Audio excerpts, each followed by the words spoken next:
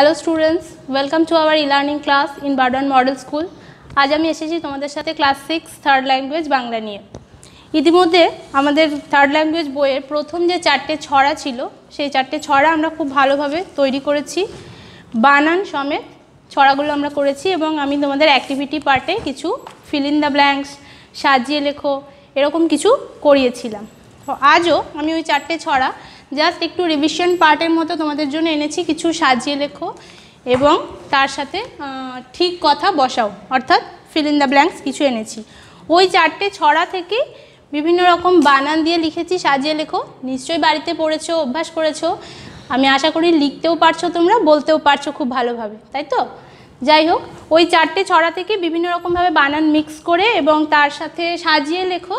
কিছু পোর্শন এনেছি তোমাদের সাথে কয়েকটা লাইন আমি জানি তোমরা প্রত্যেকেই পারছ, তাও আমি এখানে কিছুটা তোমাদের সলভ করে দিচ্ছি। এই অংশটা হয়ে যাবার পর আমরা চলে যাব পেজ নাম্বার নাইনে আজকে আমরা নতুন কিছু বিষয় শিখব। কেমন? এখানে কিছু পশু পাখি এবং কিছু ভেহিকেলস আছে। তার নামগুলো আমরা লিখতে শিখব। নতুন নতুন বানান শিখব, শব্দ শিখব। আগে চলে এসো বোর্ডের পার্টটা আমরা কমপ্লিট করি। দেখো এখানে এক নম্বরে আমি লিখেছি, সাজিয়ে লেখো। সাজিয়ে লেখোটা আমি তোমাদের শিখিয়েছিলাম কীভাবে। অর্থাৎ রিঅ্যারেঞ্জ করো। জাম্বল করে দেওয়া থাকবে ওয়ার্ডগুলো সেখান থেকে আমাকে সাজিয়ে যে শব্দটা আমার মনে হচ্ছে পরিচিত, সেরকম একটা শব্দ এখানে তৈরি হবে। যদিও এগুলো আমি সবগুলোই মোটামুটি দুই অক্ষরে দিয়েছি। দুই অক্ষরে কোনো সমস্যা হওয়ার কথা নয়। অসুবিধাটা হয় তিন অক্ষরের ক্ষেত্রে। চলো শুরু করি। প্রথম নম্বর, দেখো একে প্রথমটা আমি দিয়েছি। দ, চয়ে চন্দ্রবিন্দু, আকার। সাজিয়ে লিখতে গেলে কি করতে হবে আমাকে? চয়ে চন্দ্রবিন্দু আকার, দ, চাঁদ। তাই তো? শেষেরটা আমি দিলাম প্রথমে, প্রথম বর্ণটা দিলাম শেষে।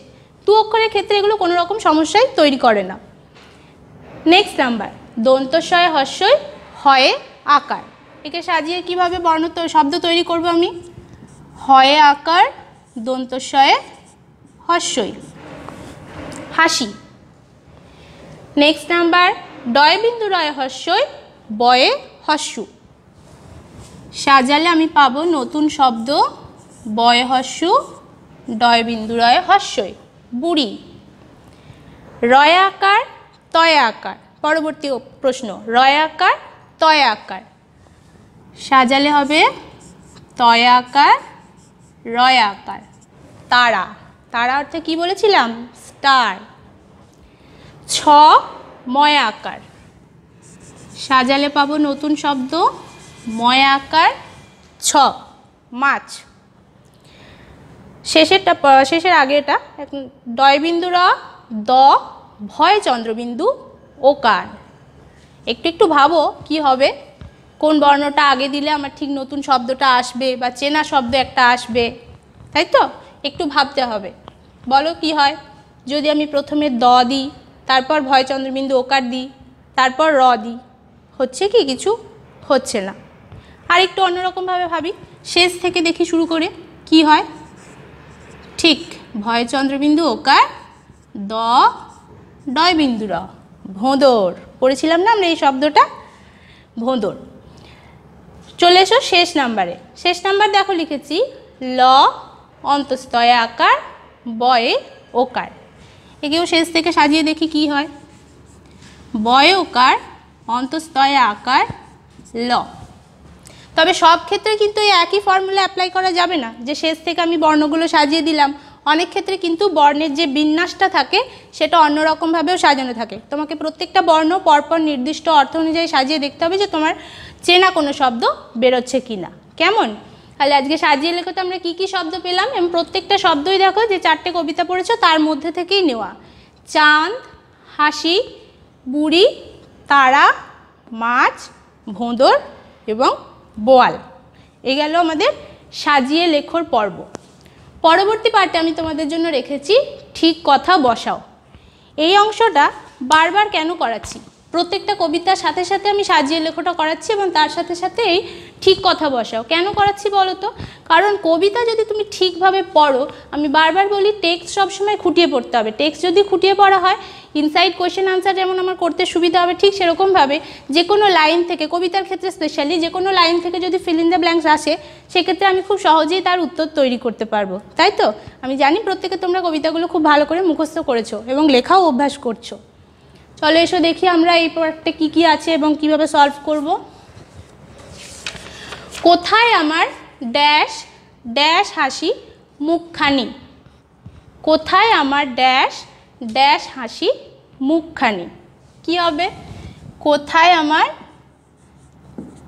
চাঁদ মণি এটা আমরা পড়েছিলাম শেষের কবিতা, হাজার চুমা কবিতা থেকে, তাই তো? সেই কবিতার লাইন দিয়েছি।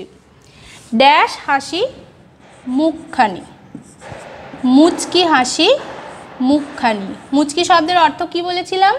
মুখ টিপে শব্দ না করে হাসাকে বলা হয়ে থাকে মুচকি হাসি। কোথায় আমার চাঁদমণি? মুচকি হাসি, মুখখানি। পরবর্তী খ নাম্বারে দেখো, আমি দুটো লাইন দিয়েছি। মাছ ড্যাশ মুড়ো দেব। ড্যাশ ভানলে ড্যাশ দেব। মাছ কুটলে মুড়ো দেব। কুটলে কথার অর্থ কাটলে। মাছ কুটলে মুড়ো দেব। ড্যাশ ভানলে ড্যাশ দেব। ধান ভানলে কুড়ো দেব। কয় চন্দ্রবিন্দু হসু ডয়ের ডয়বিন্দু রয়ে ওকার, কুড়ো। মাছ কুটলে মুড়ো দেব, ধান ভানলে কুড়ো দেব।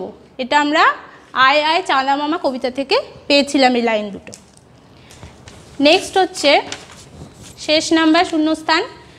ড্যাশ নিয়ে গেল ড্যাশ মাছে। না নিয়ে গেল, কোন মাছে? বোয়াল মাছে। না নিয়ে গেল, বোয়াল মাছে। না কথাটা কি অর্থে ব্যবহার করেছিলাম? নায় অর্থে। না অর্থাৎ ছোট ডিঙিকে বলা হয়ে থাকে না। তো সেক্ষেত্রে এখানে সংক্ষিপ্ত আকারে কবিতায় বলা হয়েছে, না কথাটা ব্যবহৃত হয়েছে, তাই তো? ড্যাশ নাচন, দেখে যা। কার নাচন দেখার কথা বলা হয়েছে? খোকার নাচন, দেখে যা। তাহলে কবিতা যদি আমি ঠিকভাবে তৈরি করে থাকি, কবিতাই হোক বা গল্পই হোক, পাঠ্যাংশের যে কোনো অংশই যদি আমি খুব ভালোভাবে খুঁটিয়ে পড়ি, তাহলে ফিল ইন দ্য ব্ল্যাঙ্কসের ক্ষেত্রে আমার কিন্তু কোনো রকম সমস্যা হওয়ার কথা নয়। আর প্রশ্নোত্তর পর্ব আমার কাছে খুব সহজ হয়ে যাবে। আচ্ছা আজকে রিভিশন পার্টে এটুকুই থাকল। নতুন অংশ বলতে আমি বলেছিলাম তোমাদের সাথে, এই কিছু পশুর নাম আছে এবং তার সাথে কিছু ভেহিকেলসেরও নাম আছে, সেগুলো আমরা আজকে শিখব।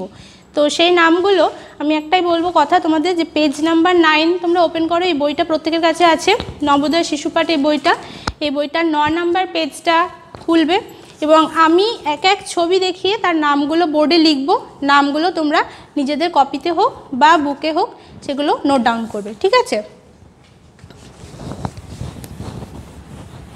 এখানে আমরা কিছু চেনা পরিচিত পশু, পাখি এবং কিছু যানবাহনের ছবি দেখতে পাবো। যেগুলোর ইংলিশ নাম হয়তো আমরা অনেকেই জানি এবং সেকেন্ড ল্যাঙ্গুয়েজ হিসেবে তোমরা হিন্দিতে নামগুলোও জানো, কিন্তু বাংলার নামগুলো আমরা আজকে প্রথম শিখব। দেখো, প্রথম দেখো, আমার রাইট সাইড আমার রাইট সাইড থেকে শুরু করছি। এখানে প্রথম একটা ছবি রয়েছে, এই ছবিটা টাইগার এর বাংলা নামটা আমরা আজকে শিখব, অর্থাৎ বাঘ। কি বলে তাকে? বাঘ। বয়াকার ঘ। এখন তো আমরা কারও শিখে গেছি, অর্থাৎ বানানোর ক্ষেত্রে কোনো অসুবিধা হবে না। ঠিক বাঘের নিচে, পরবর্তী ছবিটা। বাঘের নিচে হচ্ছে, কার ছবি রয়েছে? হর্স।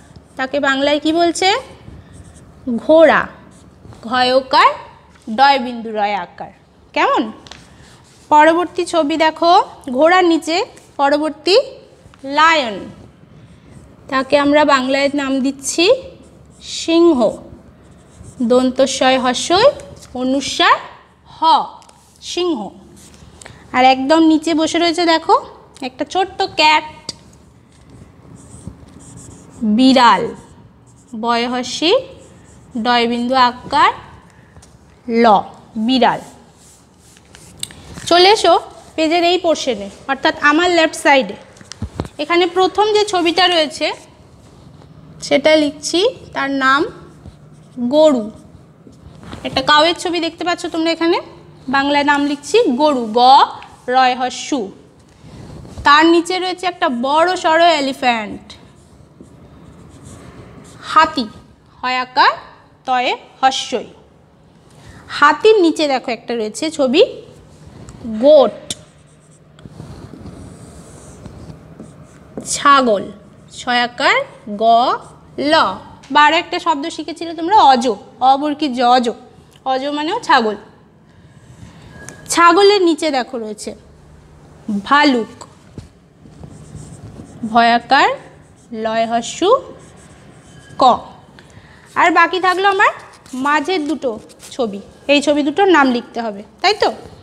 প্রথমে যে গাছের ডালে বসে রয়েছে, তার নামটা আগে লিখে ফেলি চটপট। সেটা কে? মাংকি অর্থাৎ বাঁদর। বয়চন্দ্রবিন্দু আকার দ, র। আর একদম নিচে দাঁড়িয়ে রয়েছে দেখো, একটা ডগ, যাকে আমরা বাংলায় লিখব কুকুর।